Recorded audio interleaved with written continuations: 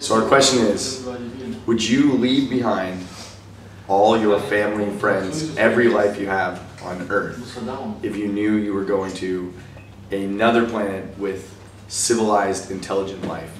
And you got to start over a new life there, but you know nothing else about it, and you can never return or never communicate back to Earth. No, I would never do that. That would be crazy. I mean, it'd be fascinating, but God, think of how depressed you would get.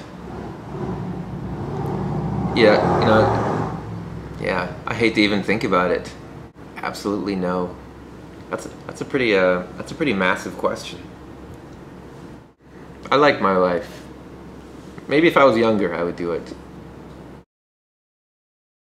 Here's a simple one. Why can't anybody in America make a good sandwich?